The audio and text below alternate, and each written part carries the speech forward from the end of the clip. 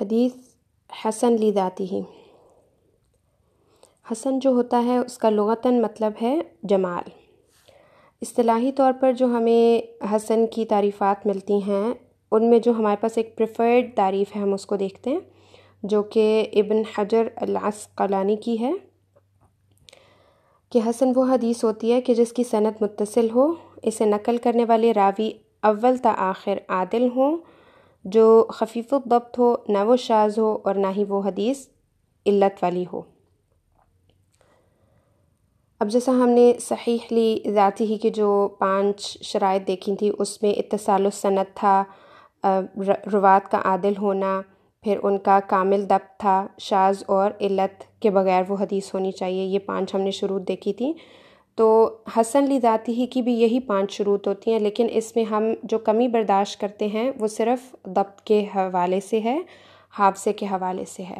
اور اس میں بھی جو راوی ہوتا ہے، اس کا ضبط خفیف ہوتا ہے یعنی اس میں تھوڑی بہت ہی کمی ہوتی ہے۔ جیسے ہم کہتے ہیں نا، انیس بیس کا فرق ہوتا ہے۔ کیونکہ اگر راوی کا حفظ بہت شدید طور پر خراب ہو، تو پھر وہ حدیث ضعیف کی کیٹیگری میں چلی جاتی ہے۔ لیکن اگر اس کے حادثے میں خفیف ضبط ہوتا ہے تھوڑی بہت ہی کمی ہوتی ہے حادثے کی، تو پھر وہ حدیث جو ہے وہ حسن لی ذاتی ہی کی کیٹیگری میں آ جاتی ہے۔ اب اس کا حکم جو ہے، فقہا اس کو، اس سے حجت لیتے ہیں اس حدیث سے، اس کے اوپر عمل کیا جاتا ہے۔ کیونکہ یہ صحیح حدیث سے کم درجے پہ ہوتی ہے، لیکن اس حدیث سے ہم حجت لے سکتے ہیں۔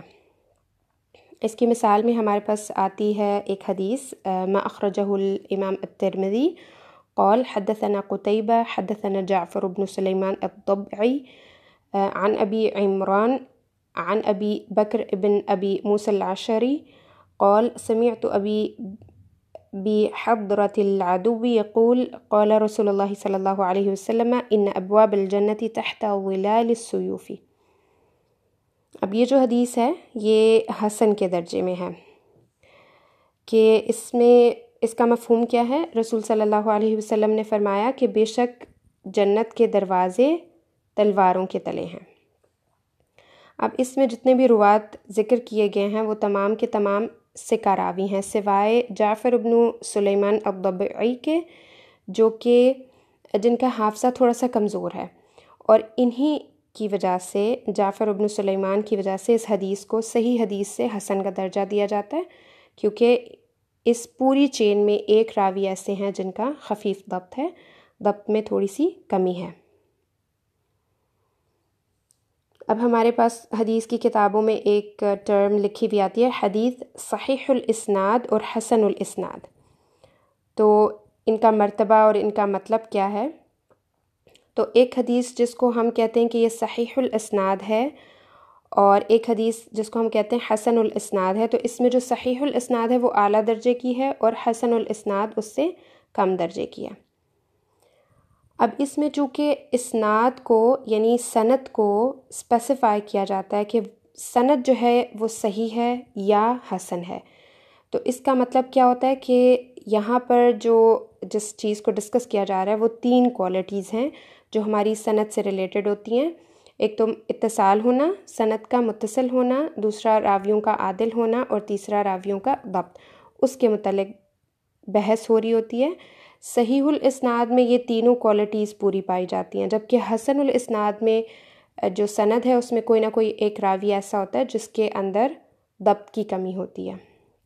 کیونکہ جب یہ ہمیں کال ملے کہ ہادہ حدیث صحیح تو پھر اس کا مطلب ہے کہ اب اس کے اندر چونکہ پوری حدیث کے اس سند اور متن کو کے اوپر بات کی جا رہی ہے، پوری حدیث کے بارے میں بات کی جا رہی ہے، تو پھر ایسی حدیث میں ہمیں پانچ شرائط ملتی ہیں۔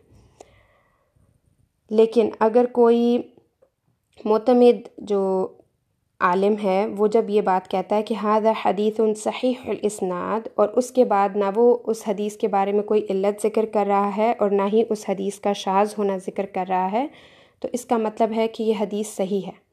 یعنی ان کے اس قول پہ کہ ہادہ صحیح الحادہ حدیث صحیح الاسناد، اس کو ہم پھر حدیث صحیح کی طرح ہی لیں گے اس قول کو۔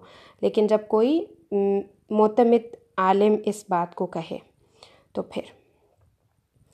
اب ہمیں ایک ٹرم ملتی ہے حدیث حسن صحیح کی، جو کہ امام ترمزی نے اپنی کتاب میں بہت بار ذکر کی ہے۔ تو اس ٹرم کو ہم دیکھتے ہیں کہ اس کا کیا مطلب ہے۔ اس میں ایسا ہوتا ہے کہ بعض دفعہ ایک حدیث کی متعدد صنعتیں ہوتی ہیں، ایک سے ایک سے زیادہ سندیں ہوتی ہیں۔ تو اس میں ایک حدیث حسن کی صنعت کے درجے کو پہنچتی ہے اور کوئی صنعت جو ہے وہ صحیح کے درجے کو پہنچتی ہے۔ تو جب ہمیں دو تین سندوں میں کوئی صحیح کے درجے پہ پہنچ رہی ہے اور کوئی حسن کے درجے پہ پہنچ رہی ہے صنعت تو اس طرح کا ہمیں مکسچر مل جاتا ہے، تو پھر ہم اس حدیث کو کہتے ہیں کہ ہادہ حدیث حسن صحیح، کہ کسی چین کے مطابق یہ حدیث حسن ہے اور کسی چین کے مطابق یہ حدیث صحیح ہے۔ اور اگر کسی حدیث کی ایک ہی سند ہے اور اس کے اوپر ہمیں یہ حکم مل رہا ہے کہ یہ حدیث جو ہے وہ حسن بھی ہے اور صحیح بھی ہے، تو اس صورت میں یہ ہوتا ہے کہ اسکالرس کے بیچ میں ڈسپیوٹ ہوتا ہے۔ کچھ علماء کہہ رہے ہوتے ہیں کہ یہ حدیث صحیح ہے اور کچھ علماء کہہ رہے ہوتے ہیں کہ یہ حدیث حسن ہے۔ اب یہاں پر ایک سوال یہ بھی پیدا ہوتا ہے کہ ایک حدیث ہے اور اس کے بارے میں کیسے اختلاف ہو رہا ہے کہ یہ صحیح بھی ہے اور حسن بھی ہے، کیونکہ دونوں میں ہمیں جس شرط میں چینجنگ ملتی ہے صحیح اور حسن کے مقابلے میں، تو صحیح میں جو دبت ہوتا ہے وہ کامل ہوتا ہے تمام راویوں کا، جبکہ حسن میں کسی ایک راوی کا جو دبت ہے وہ خفیف ہوتا ہے۔ تو اب ایک ہی حدیث ہے، وہ آپ صحیح بھی کہہ رہے ہیں، حسن بھی کہہ رہے ہیں کیسے ہو سکتا ہے؟ تو اصل میں ہمارے پاس جو علماء ہیں، ان کی کوالٹیز ہوتی ہیں۔ کچھ جو علماء ہوتے ہیں، وہ متشددین ہیں اور کچھ متساہلین ہیں۔ کچھ اسٹرکٹ ہوتے ہیں حدیث کے حکم میں اور کچھ جو ہیں، وہ لینینٹ ہوتے ہیں۔ تو اب جب ایک لینینٹ عالم کسی حدیث کے اوپر حکم لگائے گا، تو اس کا حکم ایک متشدد عالم سے مختلف ہوگا۔